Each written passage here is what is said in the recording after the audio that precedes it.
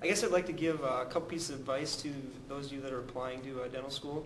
Um, first of all, with it being um, so competitive and getting more competitive, um, your DAT score is is pretty important. Um, so I would definitely recommend uh, some sort of uh, preparatory class. Um, there's a lot of them out there, um, but they really do they help out a lot. They uh, make you look at things at different angles and different ways that it can be tested, and um, I definitely think that's beneficial because that's a pretty pretty important factor I think um, in a lot of schools. And um, also, I'd recommend in your undergrad um, studies um, look at the schools you're applying to and what their first level or first year classes are, and you know try and try and take some of those classes so that um, that you have a basic background, so that it's not all new material in dental school, so that the basics you already understand, and now you're learning the details, so you're learning that better. Other than that, uh, good luck, and uh, hope you guys get in.